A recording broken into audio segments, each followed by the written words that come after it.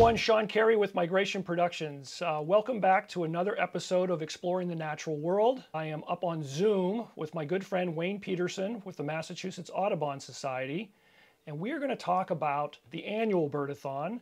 And things have changed slightly this year, and that's why I'm ringing up Wayne, as it were, to discuss the importance of Birdathon, the history of Birdathon, and some other aspects of this very important fundraiser for the Massachusetts Audubon Society.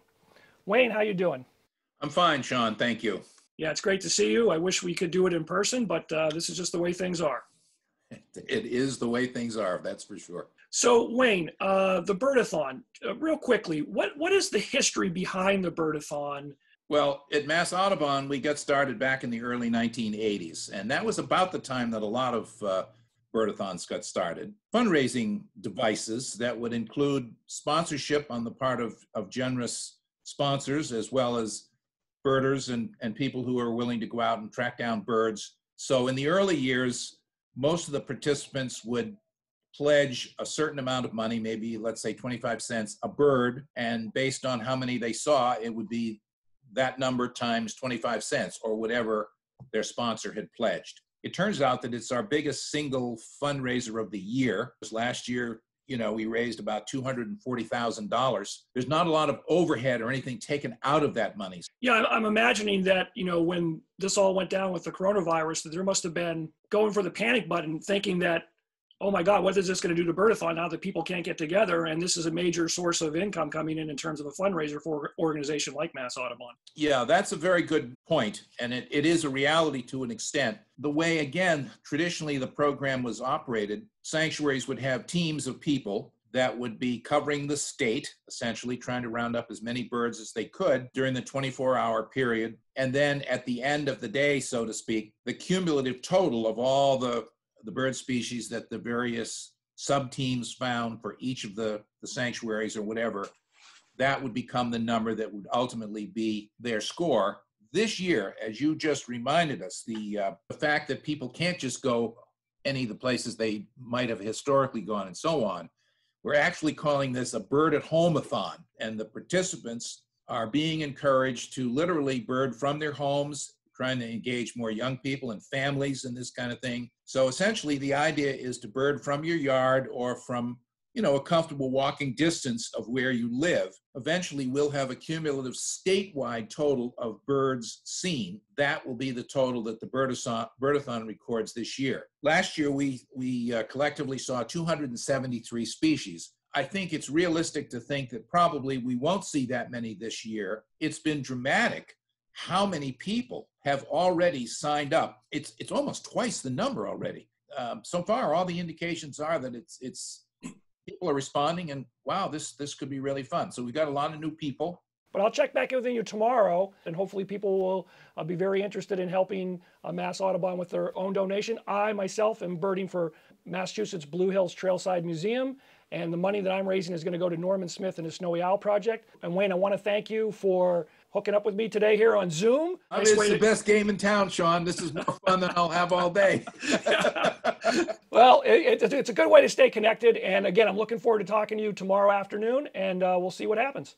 Sounds good. Thank you very much, Shawn, and good luck to you and everybody else that's participating in the Birdathon this year. And, and I'll thank you for Mass Audubon since I have the microphone at the moment. Thanks, Wayne. Hello, everyone. Welcome back for the Friday evening, 6 p.m. We're waiting for the clock to strike 6 o'clock here. We're going to head down to Sunset Lake. Donna's going to join me. I don't know, are we bringing the dog? We're not bringing the dog. Donna's going to help me out here tonight, and again, I think tomorrow afternoon. I've got my Sibley guide all loaded up. Also have my Sibley guide in here, ready to go. And the goal is to get the first five birds here, which I'm living a pretty densely populated a neighborhood, so I'm not going to get a lot of interesting or exotic birds. Back history on the Birdathon team that I'm part of, which is for Blue Hills Trailside Museum. Uh, we've been doing it since 1996. This is the book or the Bible that we keep for our team. Uh, this would be our 25th year, but now with a uh, situation that's underhand now, everyone's doing it solo, and we're going to tally our birds on our own by foot or by bike. I'm going to do a little bit of both. Considering the, the type of habitat that I have, probably reaching 50 or 60 species is going to be about the limit that I think I'm going to hit. Uh, but I'm going to get a hold of my buddy Job Dekker and Fred Bouchard and Steve Anderson and I think we're going to check in with Cliff Cook as well. And then we're going to pull our tallies together and we're going to put those in just for our team records, not for the sanctuary, just so we can kind of keep track of it that way. Okay, just turned 6 o'clock. There we go, 6 p.m. Goes to 6 p.m. tomorrow night. First bird, chimney swift, which is what I thought was going to be one of the first birds, so chimney swift. So there's one. Let's see what we get for our second bird. Dead silence, 6 o'clock. All the birds shut down. Okay, we just got a robin. That's our second bird. Okay, so we've got two species. I wanted to get five here on the on the porch. I'm not sure if that's going to happen now. House sparrow. Okay, that's three. Okay, we just had the chipping sparrow. Now we're up to four. One more for five for the deck, and then on to Sunset Lake. Starling just flew by. That's our fifth bird. Okay, off to Sunset Lake we are. Stay tuned. Okay, just walking down to Sunset Lake, we had a black-capped chickadee, we had a goldfinch, we got a cormorant, a pair of uh, eastern kingbirds, racking up a few birds there. Just picked up a cardinal, added another one, and I think a red-winged blackbird. Red-wing and grackle. Tree swallows over on the sand over here on the beach. Oh, Canada goose, standing right here. Okay, we're at the next spot and we picked up uh, mourning dove, uh, crow, American crow. It was a Baltimore Oriole was just calling above. We also had a blue jay when we left the first cemetery there by Sunset Lake. I think I forgot to mention that one. Oh, we got common yellowthroat. That was another one. We had a common yellowthroat over here calling. It's nice habitat. I thought we'd get a few more birds here, but we're on the other side of uh, Sunset Lake now. We On the way down, we had a house wren. We just picked up a wood duck, which was nice. That was a nice one to add, and a tufted titmouse, so two more. R red-belly woodpecker, just heard it again. That's the other one we got, red-belly woodpecker. So three more. We keep getting them. No sooner do I turn the camera off, we had a red-tailed hawk it was actually being dive bombed by a pair of kingbirds. So the red-tail just scooted off. Nice. Getting towards the end of daylight here, but we can hear it back here. There's a common yellowthroat, and we added a new species, our first yellow warbler. So far, so good. Tomorrow's another day. Stay tuned. Well, I thought we were done, but no sooner did I walk, I don't know, maybe 100 yards or more, and we just had a catbird, so we added one more. So there we go, catbird's on the list. Stay tuned. Okay, made it back to the house. And you know who is here. Let's go, come on.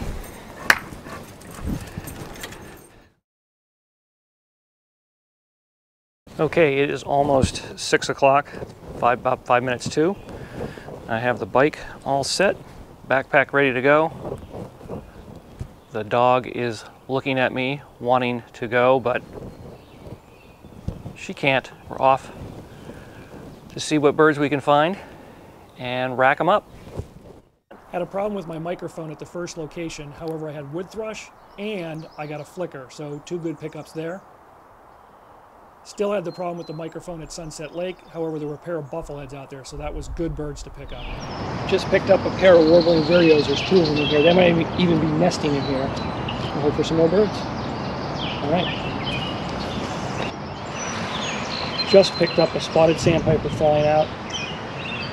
Black-throated blue falling over here. Just picked up northern water thrush. That was a nice one. Song sparrow falling overhead and a pair of yellow rump warblers. Racking them up, racking them up, yes! Just turn the camera off, turn around, get another bird. Some rough-winged swallows out here with the tree swallows flying around. So picked up another one, got another swallow species. Now we gotta go. Got another one, got another bird. Time to move on. Two birds, had a great crested flycatcher, Carolina wren, and a black and white warbler. Picked up three good birds. Or do I turn the camera off? I get a flock of about a half a dozen or more cedar waxwings just over top. So there you go. So just got turkey vulture flying overhead at this little spot right next to the South Shore Plaza, and I picked up a Lincoln sparrow. I heard a chip note, went over, checked it out, had to verify with my Sibley, definitely least flycatcher. We're moving. Just picked up a Blackburnian right behind me. Excellent species. Uh, heard it calling, psyched to get that one. All right, let's keep moving. Just picked up Redstart. Added another one. Another one for the list. Just about to leave Eastern Phoebe right here. I did pick up the herring gull, uh, picked up the Eastern Phoebe, and I had that, uh, that mockingbird over in the corner as well. All right, let's move.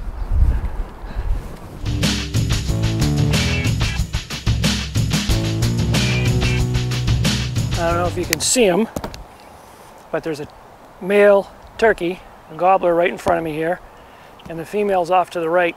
He was just in full display. Okay, this part here is actually, I think, part of the Blue Hills Reservation, uh, but there's this nice long path that cuts through.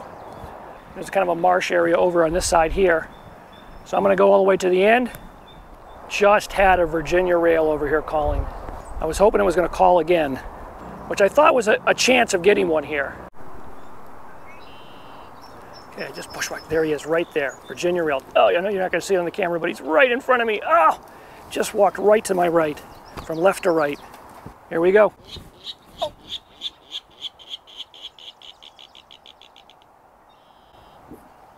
That was him calling. Nice. He's right here, right here. All right, bud, you're on your own. I'm out of here. Let's go. Just came across this think it's a water snake here, but I'm worried that someone's going to run over him, so I'm going to scoot him off the road a little bit here. If a biker came down here, he may not see him. I'm just going to get him off the side of the road just a little bit. There he goes. Nice little flurry here. Blackburnian. Added a new one, pine warbler. Black-throated blue. There's a parula calling. Nice little fallout here. All right, going to keep moving just picked up a downy woodpecker all the way back. That was a downy call. Just finished up this stretch here. Gonna head down the road to Great Pond on Braintree, Randolph line, see what else we were able to find, and we're gonna move on down the road. Okay, let's go. I just had a Merlin come bombing through here. Went right along the shoreline here, cut into the right over that little pond. Good one to pick up, Merlin. Okay, this is going to be the home stretch. Loop around, cut across. We'll have both sides of the pond on either side there when I get down there. We'll give it a whirl. Let's go. So nice little view of the pond. But I'm going to have a 10 second rant. Two things. One, trash. You come here and people leave their trash. And two, not only the trash, but people have to do the graffiti on the rocks. Lots of trash in here. Can we please stop with the trash already? Enough already. And the same thing with the graffiti. Is this is this necessary? Okay, that's my that's my rant. I'm done. Okay, we're gonna move on. Let's go. Just picked up Savannah sparrow, so I added another sparrow, which is good because not doing real good on sparrows right now. So back on the bike, hit the road, about a three mile bike ride back to the house, and I'm gonna have lunch. I'm very hungry and it's time to go. So let's move it. I have finished lunch. I'm going to eat my chocolate chip cookies in a little bit. Donna's going to go back out with me on her bicycle. You going? Yes. Yes, she's going. I'm going. The dog is staying. That's an oven bird. Yeah, I didn't think I'd get one from the yard. That's a new yard bird. Okay, back out on the road. Just had an oven bird, although we already have it for the list, but that's a good one. No hummingbirds yet just had a Swainson's thrush back in here. That's a really good pickup. Glad to get that one. Down the road we go. Very unlikely spot, but three ospreys circling up here, and I'm behind the supermarket. There they are. I can hear them. I can see them. There's three of them. Finally had rock dove. Had missed pigeon, but finally got that as well. And a barn swallow. Just got a barn swallow. On to the next spot. Here we go just picked up a really good bird, solitary sandpiper. Yes, nice. I saw this little stream running through here. I thought, go where the water is. Sure enough, solitary sandpiper. Excellent. One minute to go. Final scan. That's it. Birdathon is over. 6 p.m. Finished off in a nice spot. And I'm going to go home Got about a 10 minute bike ride, tally it up, give Wayne Peterson a call, give Job Dekker a call. Thanks for tuning in to Exploring the Natural World. Hope everyone enjoyed my little take on the Birdathon. Hopefully next year I get to go do it with uh, all my friends back out on Cape Cod, even though I did enjoy this. Okay, so that was an interesting day. I thought I would be somewhere maybe just over 60 birds and I ended up ended up with 65 species total. I had 29 Friday, added 36 more today. 65 was the total. Okay, everyone, I'm back with Wayne Peterson. Uh, first off, how was it for you? It was spectacular, partly because I don't really have a backyard because I'm living in a retirement community, so that there is property here. And given the fact that well, this is a backyardathon, I put up put on over five miles today on foot. But the bottom line was this was a really heavy migration day, at least in Hingham. Yeah. So, what were some of your highlights? Well, the, the biggest single highlight really was the fact that I saw about 65 species. That's more birds in a matter of just a few hours this morning than I've seen in over a year that I've lived here. I think it was 15 species of warblers. You had some nice birds. We had some wonderful birds. Yeah, I mean the the uh, the, the warbler watching was great. What did you think you were going to see that maybe that you didn't see the one species? If there was one, maybe there wasn't. Well, I was going to say I think I saw so much more than I thought I was going to see. That that's a hard question to answer. Well, I didn't see a phoebe, for example. So Wayne, so now that Birdathon is wrapped up, uh, what's your kind of closing message uh, to the audience out there that might be watching this video in terms of the importance of Birdathon and getting involved? I think the closing message is thank you to everybody who participated. The pledging and sponsorship really running ahead of what it often is in some years. It seemed that a lot of people stepped up in a big way. So this was just a, a, a bright light, and I hope statewide, you know, everybody's impression was as sort of optimistic as mine was. Yeah, it was a good day. It was definitely a good day, and I'm I'm I'm happy for Mass Audubon. Um, enjoyed the day again, and look forward to doing it again next year. Wayne, we'll talk to you soon, and thanks again. Thank you, Shawn. My pleasure. Take care. Okay, I'm going to ring up my good friend Job Dekker, who's out in Princeton, Mass. Uh, typically for the Birdathon, Job and I hike it all the way out from Race Point parking lot, all the way out to the very tip. Job, are you there?